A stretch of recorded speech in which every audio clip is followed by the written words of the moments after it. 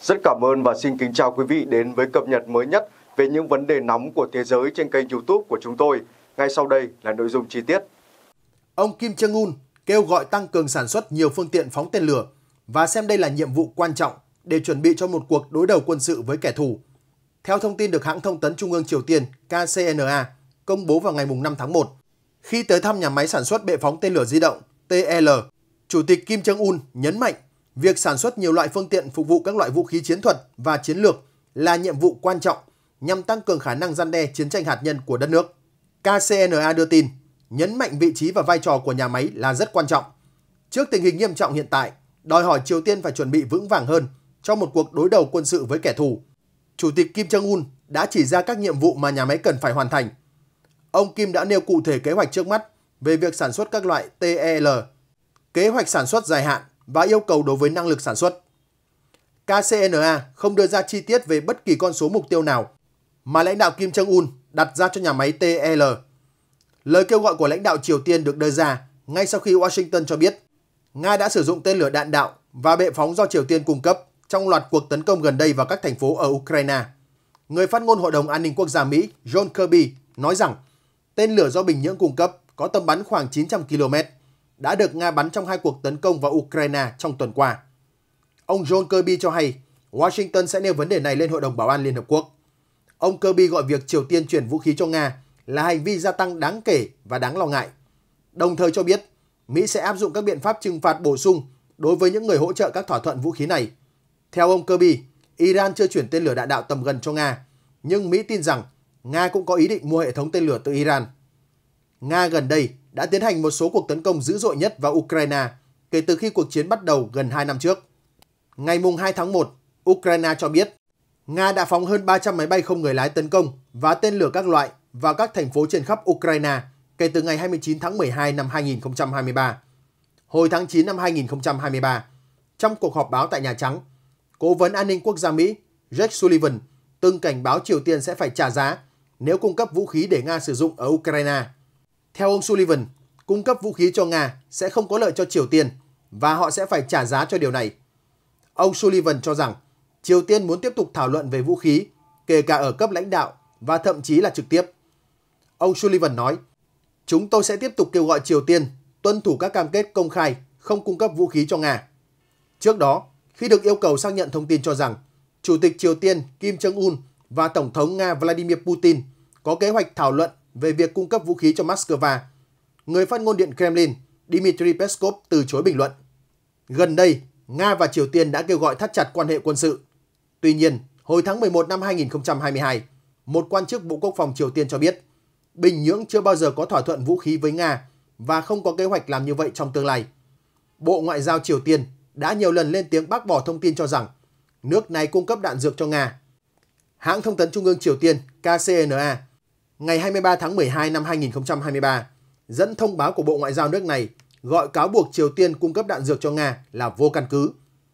Trước đó, truyền thông Nhật Bản đưa tin rằng Triều Tiên đã vận chuyển đạn dược, bao gồm cả đạn pháo, tới Nga bằng tàu hỏa. KCNA dẫn lời người phát ngôn Bộ Ngoại giao nhấn mạnh, việc truyền thông Nhật Bản đưa tin sai sự thật rằng Cộng hòa Dân chủ Nhân dân Triều Tiên cung cấp đạn dược cho Nga là không đáng để bình luận hay giải thích. Theo người phát ngôn trên, Triều Tiên vẫn không thay đổi lập trường, nguyên tắc của mình về vấn đề giao dịch vũ khí với Nga, điều chưa bao giờ xảy ra. Tại các cuộc họp chính sách quan trọng cuối năm của Triều Tiên mới đây, ông Kim Jong-un cảnh báo về cuộc tấn công hạt nhân vào Hàn Quốc, đồng thời kêu gọi tăng cường kho vũ khí quân sự của nước này trước nguy cơ bùng nổ xung đột vũ trang. Mối quan hệ giữa hai miền Triều Tiên đang ở một trong những thời điểm tồi tệ nhất trong nhiều thập kỷ. Tháng 9 năm ngoái, Triều Tiên đưa ra chính sách vũ khí hạt nhân vào hiến pháp nước này và lãnh đạo Kim Jong-un tuyên bố sẽ đẩy nhanh việc sản xuất vũ khí hạt nhân để bảo vệ quyền sinh tồn và phát triển đất nước, ngăn chặn chiến tranh, duy trì hòa bình, ổn định trong khu vực và thế giới. Chuyên gia quân sự người Mỹ Michael Bonnet từ tổ chức nghiên cứu RAND cho biết F-16 có thể xuất hiện trên bầu trời Ukraine vào đầu năm 2024, nhưng chỉ có thể được sử dụng cho nhiệm vụ đánh chặn tên lửa hành trình của Nga. Và nó sẽ không phải là vũ khí thần kỳ như Lầu Năm Góc hứa hẹn. F-16 sẽ không thể đối đầu trực tiếp với lực lượng không quân Nga vì quyền kiểm soát bầu trời không thuộc về lực lượng phòng không Kiev. Hiện tại, Nga đang triển khai nhiều loại chiến đấu cơ hàng đầu trong kế hoạch quân sự, đặc biệt là ở khu vực tiền tuyến. Hệ thống phòng không cùng các thiết bị tác chiến điện tử hiện đại mang lại cho Nga khả năng kiểm soát trên không. Trong khi đó, do lãnh thổ Ukraine quá rộng lớn và sự hạn chế của lực lượng phòng không nước này khiến họ không thể đủ sức kiểm soát bầu trời trước đối thủ. Các máy bay chiến đấu Nga có tính cơ động cao và tầm nhìn xa nên rất phù hợp để hoạt động trong khu vực tiền tuyến. Những chiến đấu cơ Nga có thể tránh các hệ thống tên lửa của Ukraine bằng cách bay thấp và vẫn có thể giao chiến với các máy bay chiến đấu của Ukraine. Ông Bonus còn nhấn mạnh thêm rằng với sức mạnh phòng không của Nga, những chiếc F-16 khó có thể được sử dụng ngay cả khi chỉ thực hiện nhiệm vụ tuần tra dọc chiến tuyến. Vai trò chiến đấu mà F-16 có thể thực hiện là hỗ trợ hệ thống phòng không đánh chặn tên lửa hành trình của Nga. Những chỉ huy quân sự ở Lầu Năm Góc cho rằng F-16 có thể mang tên lửa Storm Shadow giúp tăng khả năng xuyên thủng hệ thống phòng không của Nga. Tuy nhiên, phía Ukraine hầu như có rất ít tên lửa như vậy và máy bay chiến đấu của Mỹ sẽ không mang lại bất kỳ lợi thế nào cho lực lượng vũ trang Ukraine. Bonus viết F-16 hoàn toàn vô dụng nếu không thể áp chế được các hệ thống phòng không của Nga. Vì vậy, Ukraine sẽ cố gắng trang bị cho F-16 tên lửa chống radar AGM-88 để làm nhiệm vụ đó.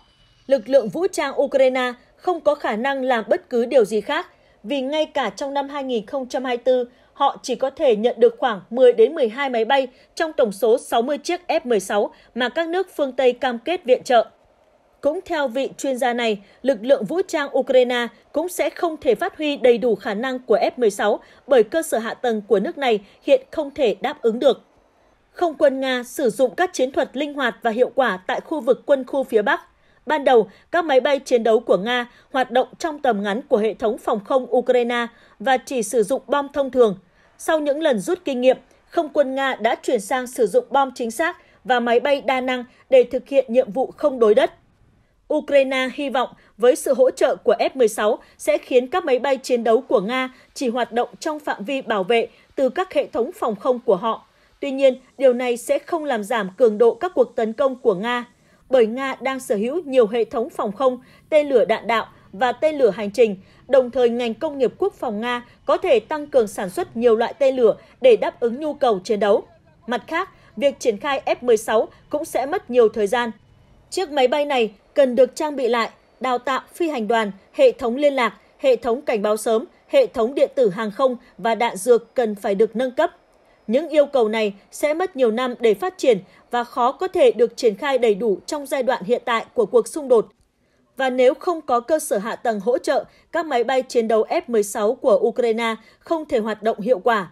Phía Mỹ hứa sẽ cung cấp cho chính quyền Kiev thêm một số tên lửa chống radar AGM-88 và bom lượn dây đam, nhưng Lầu Năm Góc không cho biết cụ thể F-16 sẽ trang bị loại vũ khí nào.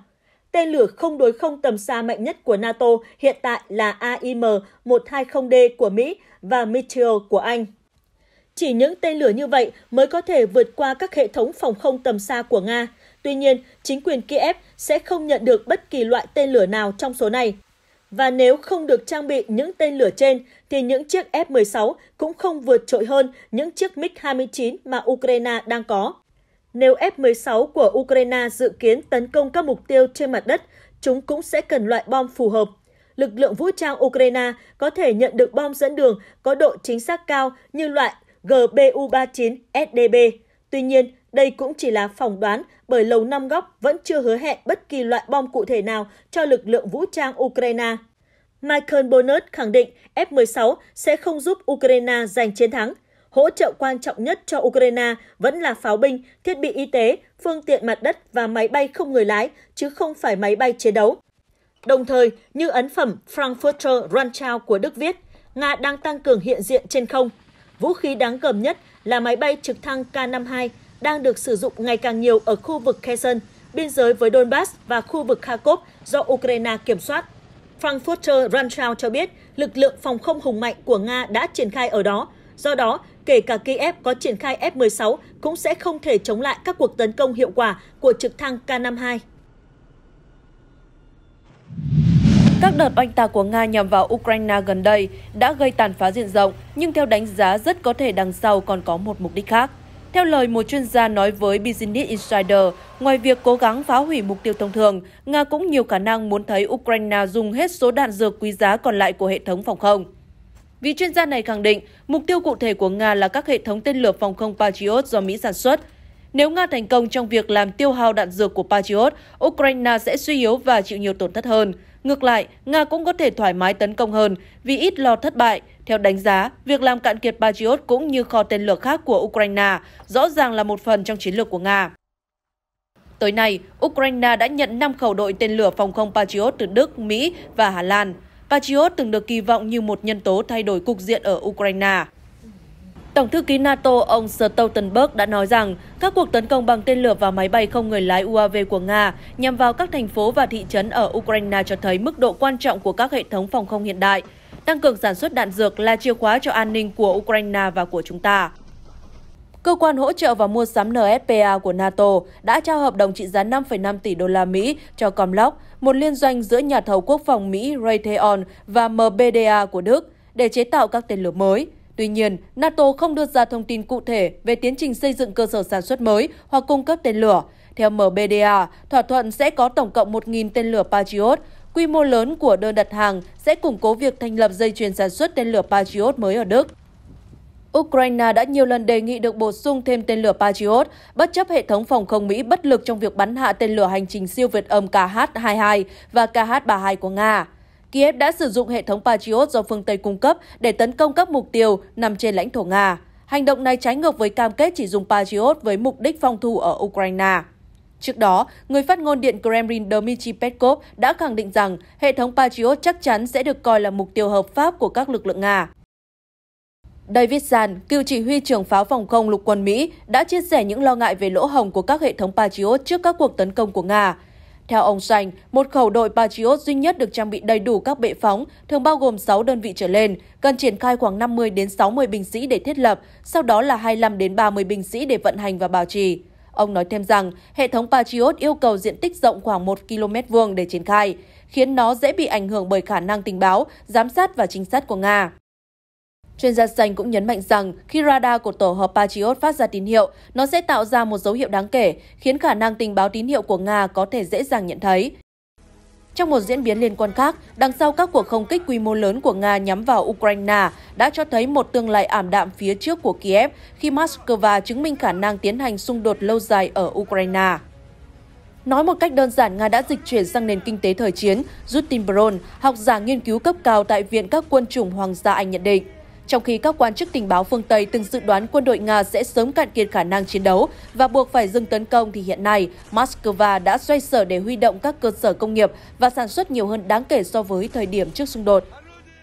Nga đã tăng gấp đôi ngân sách quốc phòng để hỗ trợ xung đột và tái tạo năng lực chiến đấu. Mức độ sản xuất tên lửa tầm xa được sử dụng ở Ukraine đã tăng từ 40 lên 100 tên lửa một tháng, ông Bron nói.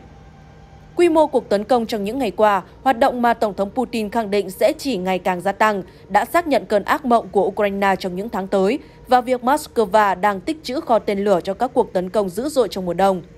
Các quan chức tình báo Ukraine và phương Tây nhận định với truyền thông Anh vào tuần trước rằng Nga đã dành nhiều tháng tích trữ tên lửa cho các cuộc tấn công mùa đông để áp đảo phòng không Ukraine, làm suy yếu khả năng của Kiev và buộc quân đội nước này phải phân tán sự chú ý Bên cạnh đó, Moscow cũng tăng cường sản xuất đạn pháo. Trong chiến đấu, pháo đóng vai trò quan trọng với cả Nga và Ukraine. Một số nhà phân tích thậm chí gọi nó là vua chiến trường, bất chấp xu hướng tập trung vào các vũ khí công nghệ cao mới hơn hiện nay.